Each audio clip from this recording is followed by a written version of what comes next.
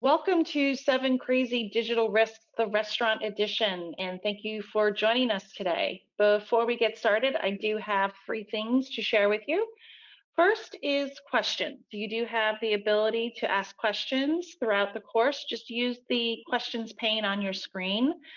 We will take as many questions as we have time for, but remember we did promise to keep the session, the session 30 minutes or less. Uh, second, we are recording today's session. And third, the, we will send the presentation and a link to the recording in a day or so. Now I would like to introduce our speakers. First off, I am Chris Crawford. I lead the marketing efforts here at the Media Trust. And I will be joined by Tony Little, our product manager responsible for creating and delivering solutions for enterprise clients like fast casual dining restaurants.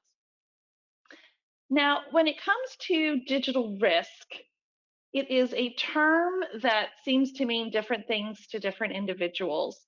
For the purpose of this session, we will be honing in on risks specific to restaurant websites and mobile apps. And this distinction is really important when you look at the state of digital.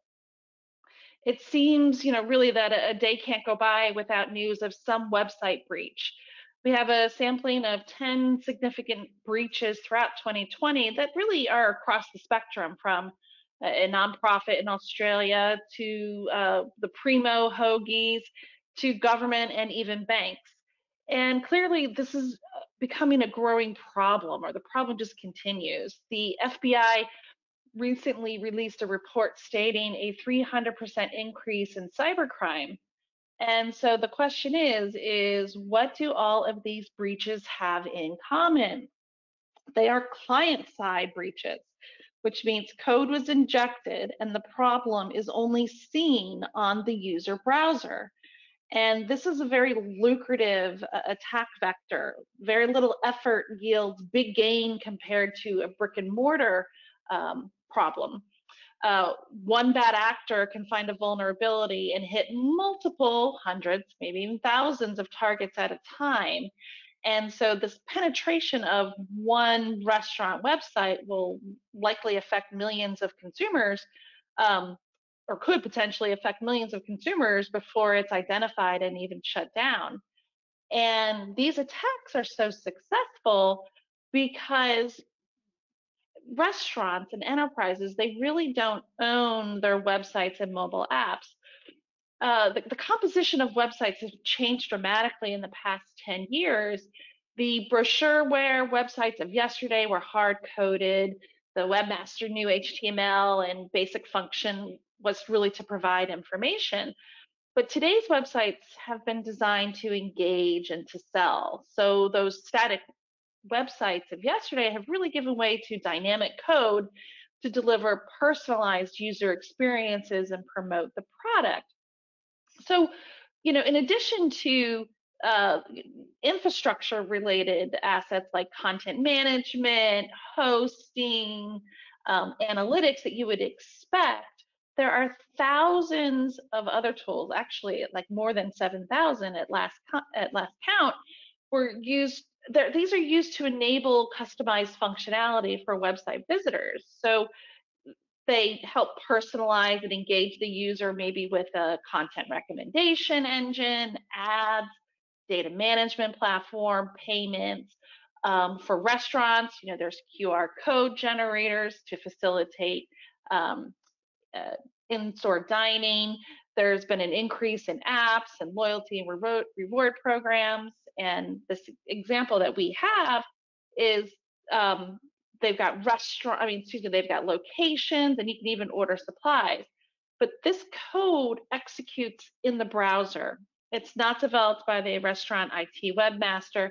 It's sourced from a vendor or um, or public library. Sometimes it's paid, a lot, oftentimes it's not. And so the end result is that 90% of the code that's executing and delivering this website and mobile app experience is from third parties.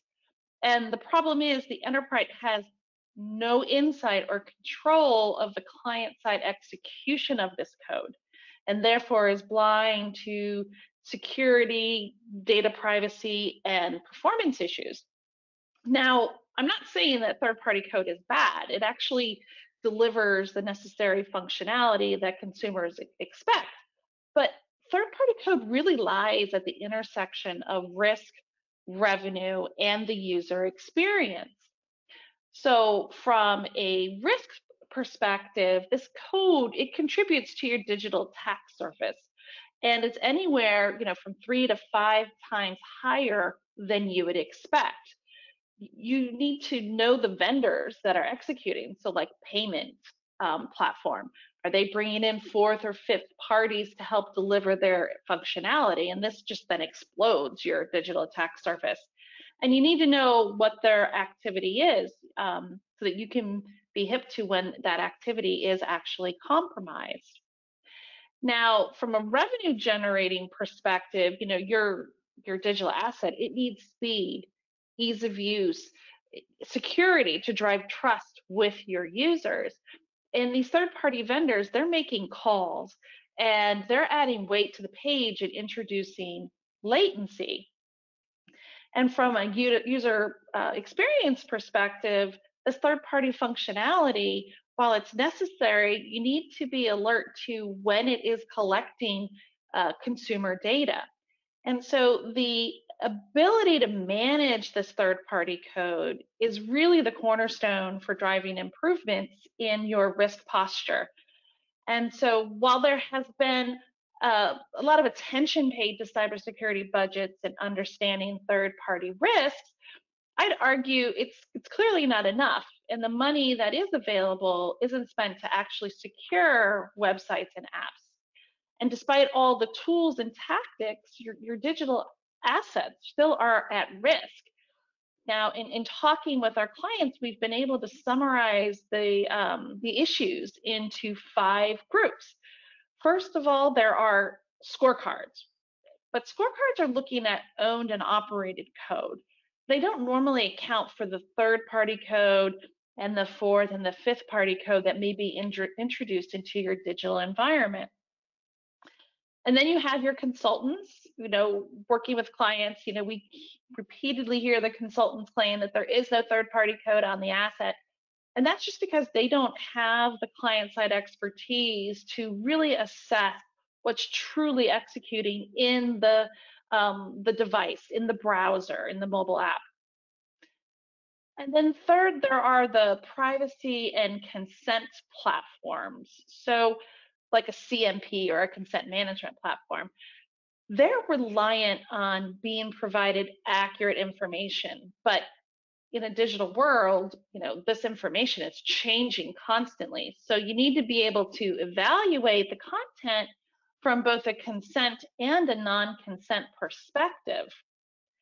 And fourth, we have blocking of applications. So kind of like a content security platform, um, it's, it's a blunt instrument. Um, it's reliant on being provided a, a safe, inclusion, allow list of what can actually execute. And we've repeatedly seen this this approach breaking sites and ruining the user experience, which is a huge problem if you're looking to monetize. Um, you know, I mentioned earlier that there's more than 7,000 different MarTech vendors. Um, do you know who all those vendors are? Just imagine the difficulty of knowing all types of domains that are necessary for um, rendering the user experience to thousands of different users. And then finally, we have third party risk management platforms. Now, what these solutions are really doing is cataloging and managing interactions between the enterprise and external parties. But as we've seen in digital, most relationships aren't known, or if they are known, there's no contract or direct interaction with this uh, business partner. So while these solutions uh, cover certain aspects, there's still a significant amount of residual risk. And so to control your website and mobile apps, you really need to look at these key artifacts of digital risk. So we have looked at more than 100 uh, websites across eight consumer-oriented industries throughout 2020, and we measured them according to these three uh, key risk um, uh, or artifacts of digital risk. Now, the first one is understanding who has access to your customers. So, who's executing on the site? So, you would do that by reviewing all the executing domains every time a consumer is accessing um, the website or mobile app. These are the vendors that are executing, and this will include first party, third party, fourth, fifth party, anyone who's brought along to the party. Now, in our uh, analysis from 2020, you know, as expected, uh, media and retail are, are pretty high. They lead the pack. But these are strong, consumer-oriented sites that are continuously driving users to them. Media needs the eyeballs to view content because they're compensated through these ad views, and retail is, is pushing to sell their goods, you know, direct to consumers. Restaurants, though, are pretty much in the middle of the pack here. What surprises me, though, is banking. You know, why do a, like a, a hundred different domains um, need to know what I'm doing when I access that banking site? The second question or thing you'd want to look at is understanding how volatile is your environment. Now, remember, digital is dynamic, it's constantly changing to deliver and optimize user experience. And you do this by measuring digital drift. You need to assess new domains. Um, we usually look at it on a monthly basis. You can do it uh, more frequently, but that becomes uh, pretty onerous. Now, again, from the 2020 data, media was high, averaging about 17%, um, but that's an ad-supported industry, so they need that for their monetization efforts. Restaurants are pretty much um, at the middle, maybe bottom of the pack, but they do appear to be fluctuating wildly. So they're averaging about 7%. Um, and this is probably likely driven by efforts to support and you know, drive online orders. But what's weird is uh, healthcare. It's it's pretty high, uh, averaging about 12% uh, domain drift. So a hospital website where I'm sharing personal information, maybe making appointments or scheduling procedures or, or making payments, um, it should definitely be a lot more controlled than that. And then the third thing that you'd want to look at is um, the data exposure. So in this instance, we are looking at cookies, which we are going to be using really for a simplified term for consumer tracking. Now, you've probably heard that uh, cookies are going away. That would be third-party cookies. But already throughout last year, we were, we were seeing new tracking technologies like local storage and fingerprinting. So from our perspective, you know, fingerprinting went from something we saw occasionally to something that we see regularly. Um, but cookies is what we were really looking at last year. We'll be changing that this year.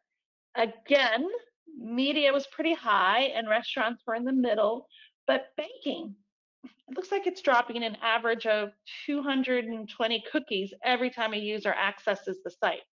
So who needs to know me and, and what and what are they doing with my data? So that's the overall kind of high level status of the ongoing or residual risk in digital environments across those eight consumer oriented industries and the, the role third parties and the fourth and fifth parties that they bring, the role that they play in expanding the digital attack surface and negatively affecting the user experience. Now I'm going to hand this off to Tony to dive into digital risks that are specific to restaurant environments. Tony? Yep, sounds good. Thank you, Chris, and hello, everybody. Um, so what about Bobby? Uh, today we're going to walk through a digital scenario or journey uh, that mimics a real life situation and user behavior. Uh, one thing we do want you to keep in context here is that while this is a digital scenario with a lot of digital terms and digital language, uh, what we want you to think about is how would a, a human feel about these risks in a traditional brick and mortar setting. So the first thing that we want to drive, dive into here are the actual drivers of digital risk. Um, these are based on uh, a blog series that we did based on the seven crazy things that drive digital risk. Um, the first is security, and the key point that we want to drive home here is monitoring. Uh, that will be a theme throughout all of these digital risks. Um, But on the security front, you know, it's pretty easy to tell in a traditional brick and mortar setting if you have an imminent threat. Inherently, as people, we're, we're always on the lookout for this type of thing. So the concept is, of monitoring is as easy as telling your employees to keep an eye out. Um, with digital, it's a bit more complicated to tell when there's something malicious going on, like a domain bringing malware. There are no employees sitting in a store to keep an eye out, and this emphasizes the importance of digital monitoring to keep your consumers protected. Next thing we want to talk about is payment fraud. So if Bobby walked into a typical brick and mortar environment, would you want someone sitting at the cash register asking to take pictures of her credit card? Um, probably not. But within digital, skimming is actually a very common risk, um, an attack that malicious actors will try um, that should be monitored for. So next we have slow response time. Um, this one I'm sure a lot of people are familiar with. If you've ever waited for two hours in a restaurant to get your food, um, that type of experience can certainly be a little frustrating. Um, we see in speaking with our clients that consumers have similar feelings of frustrations when they wait an excessive amount of time for a page to load. So large amounts of third-party JavaScript and domains making network calls can slow a page down tremendously. Um, it's important to monitor and take action on these to keep your customer satisfaction high. Um, so customer hijacking, this is an interesting one to think about. Um, so imagine you're waiting in a line at your favorite grocery store and your cart's full of food and produce that you need. You're getting ready to pay for it all, but all of a sudden you're whisked away, teleported to a completely different store with a cashier you've never seen before, asking if you're ready to check out. Um, so this one's a, a little bit difficult to wrap your head around from a physical standpoint, but it's actually quite common in the world of digital. Luckily, it is preventable through the careful monitoring of these pages um, throughout your user journey. So data leakage. Um, we would expect that you wouldn't typically share your customers' loyalty members um, information with anyone that asks, um, but within the world of digital, the theft and leakage of this data is actually pretty common. Um, so monitoring and understanding who's on your site is a very important theme to keep in mind. Uh, similar to data leakage, we have data privacy. So you don't want just anyone having access to your consumer's data. Um, our clients express that they would want their customers feeling that their data is safe and secure. And the last one we have is regulatory compliance. So again, from our clients, we hear um, it's important to keep your consumers protected from a moral standpoint, but also more recently, there are laws and regulations around how these types of things should be handled um, with GDPR, CCPA, VCDPA, and other states following suit. It's important to get in front of this and be able to proactively say what steps are being taken to make sure your consumers are protected. Okay, so some actual digital risks. Um, we did an, an, analysis of 10 restaurants throughout 2020. Um, and in that analysis, we found that 90% of domains um, are not owned by the restaurants, and 2% of the domains that we saw are considered high risk. Um, so in looking at some specific sites, there are 98 domains on average. So within that, the greater the number of domains, um, the greater the amount of risk because of the variety of things those domains can bring, uh, like more calls, more latency, greater file download size, uh, and others. So if we focus on one or two examples in this first chart here, you can see a large variability in the yellow line versus the blue line. This could be a new program being rolled out, change in tag manager, a number of things, um, but it's just important to be aware of those things and that they're happening. So within the second chart here, we want to take a look at digital rift, drift. Um, so there's 9% average drift, um, which means there's a percentage of new domains each month. Um, large amounts of variation within the site signal lack of control. Again, looking at the yellow line, there's a significant amount of variability, which speaks to a pretty high level of risk in this example. And the last chart we want to look at is cookies or data trackers. So uh, total counts provide some insight into the level of control the site has. In working with our clients, uh, really sophisticated security groups want to know what every cookie is and the purpose of it. So again, if we look at the yellow line, you can see a steep drop off in cookies and then a large spike. So this could be, again, any number of things happening, but it's important to have visibility and understand that it is happening so you can research and dive into trends. All right, so getting through the actual journey here. Um, if you think about a consumer's journey, there's four main steps and we'll walk through each one of those steps today. So step one, getting back to Bobby. Bobby visits the site and she wants to order some food, so she's looking around through the product pages.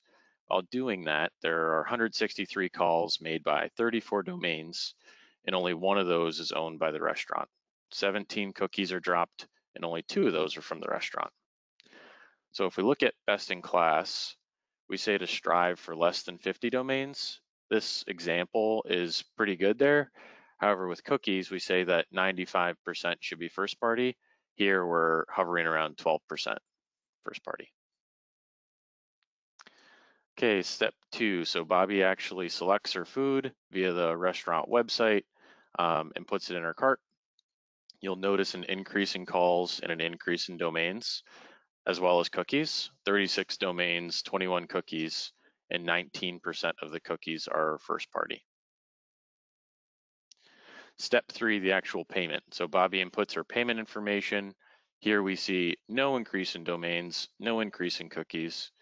27% uh, are now first party, which is a good increase. We would actually expect something like this because this is a very highly sensitive page and should certainly be the most secure in the user journey.